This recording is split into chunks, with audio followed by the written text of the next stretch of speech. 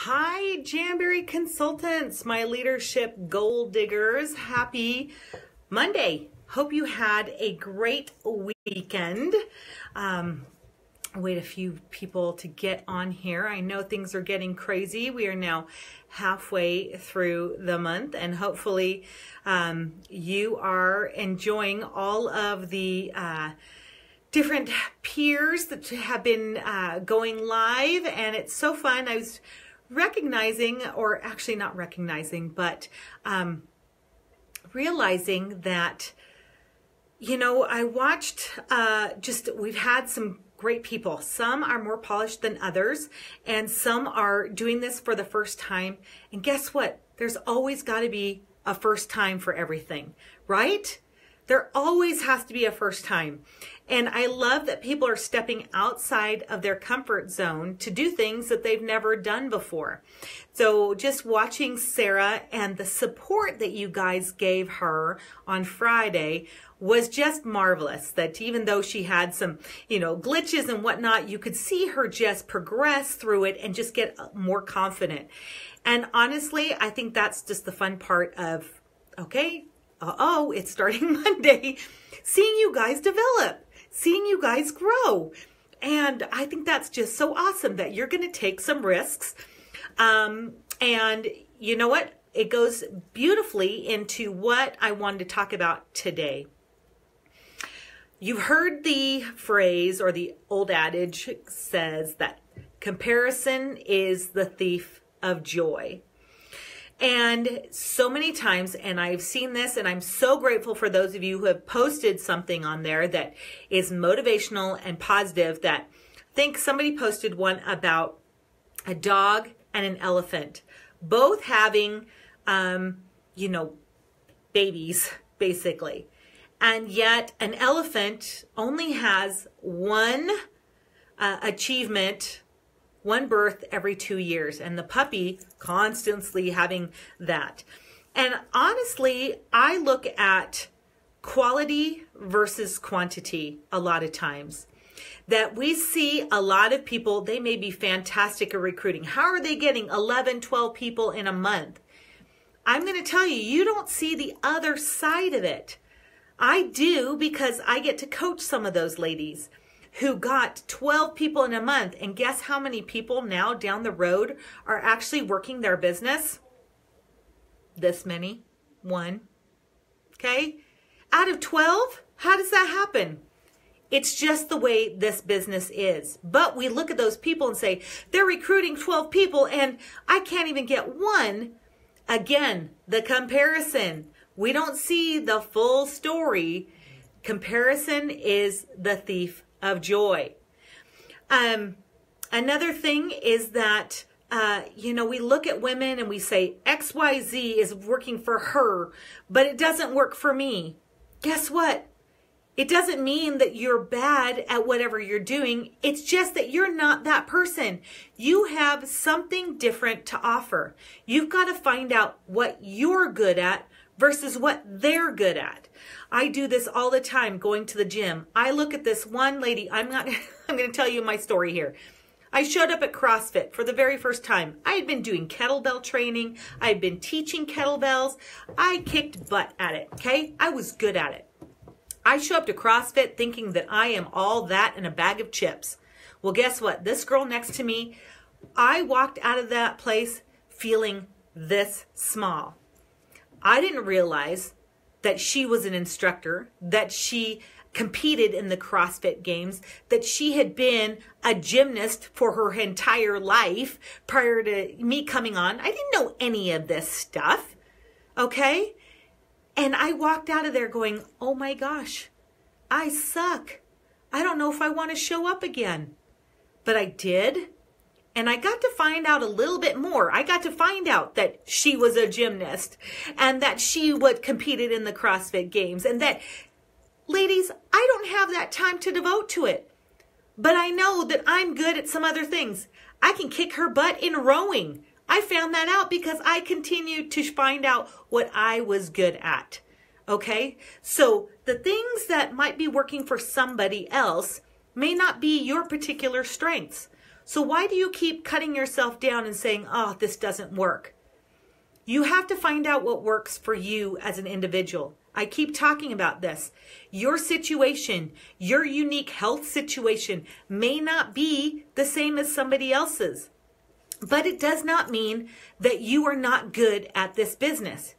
You have to find out what your uniqueness is, your strengths are. And that's why I have you focus on your strengths and not necessarily your weaknesses. But that doesn't mean that you forget your weaknesses. It means that you need to look at them and see how to overcome them. It's important for us to realize that our strengths will get us to a place, but also reinforcing some of the basics will also make us improve. Okay? Um, you are, remember we talked about brand values? The brand values. Be unique, be creative, be generous, be a blessing, be a family. Be unique is one of those values that you need to realize that that's what makes you great. Okay? You may have a great way to think about something and train your team. You may have a great follow up system. You may have a great booking system. You may be great at hostess coaching, but you may not be strong in every single one of those things but you have to keep working at them, just like I do at CrossFit. I still have to come in and I have to stretch because I don't have, I'm not very good in mobility. I still have to do those burpees. And every time I do them, it doesn't mean that they get any easier. It just means that I get better at them. And then I just have to work at it. Okay. They never, nothing ever gets easy in this business. I don't care who you are in Jamberry.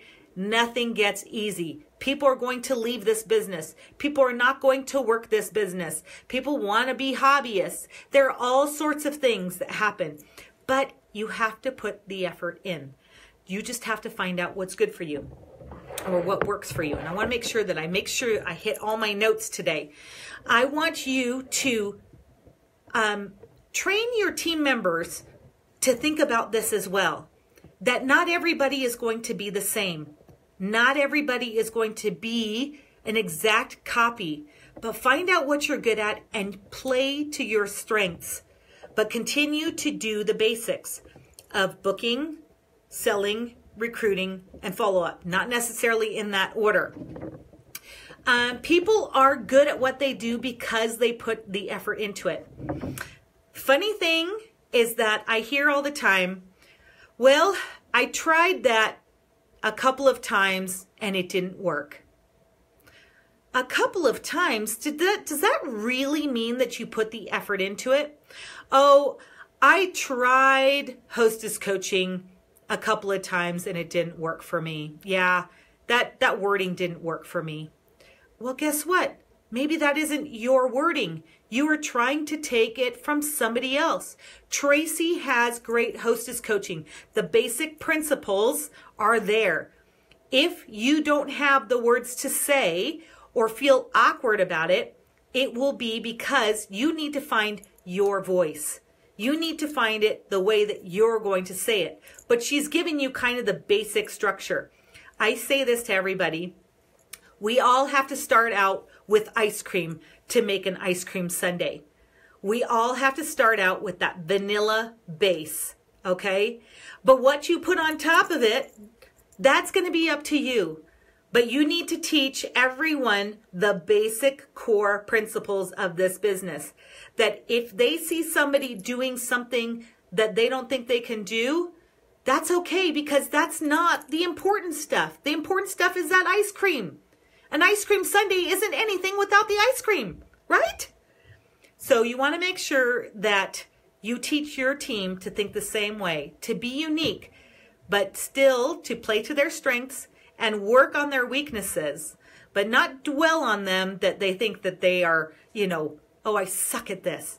Because guess what we just did? We talked about how great you are, and now you just brought yourself down again by going, oh, I suck at this. I look back at my Facebook Lives of when I very first started doing Facebook Live. my husband laughed and went, Oh my gosh, you were terrible. I don't think I'm that great today. I know that I can get better. But I have gotten better because I've put the effort into it and then I've practiced. I practice at what I'm doing. So you too must practice. If you see people that are good at recruiting, it's because they share the opportunity or look for people on their team that they want those specific qualities at every party on uh, they engage with people online parties i tell you face to face like this even if it's facebook live is much better than just via text those of you who have done my coaching calls how would a coaching call via text be versus talking to me we can accomplish so much more in a short time. So having those face to face conversations, looking for people that are engaged in your parties, seeing those qualities. Okay. If somebody is good at bookings, it's because they do great hostess coaching. They've practiced the hostess coaching and they use them as a business partner to find those future bookings. If they're great at selling, it's because they know the products and can upsell.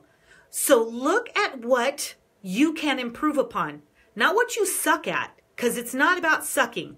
We're talking about what can you do a little bit better. Okay? That's what we want you to do.